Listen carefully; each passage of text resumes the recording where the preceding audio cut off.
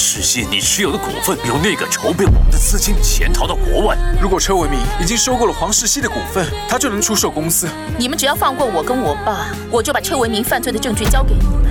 在此决定，黄龙集团将出售给 MI 投资公司。等一下，我手上握有全部的证据了，你的所作所为，我们一定会一个一个揭发。啊是黄世熙，该不会？下周三晚间八点，《微笑吧，纯男》精彩大结局。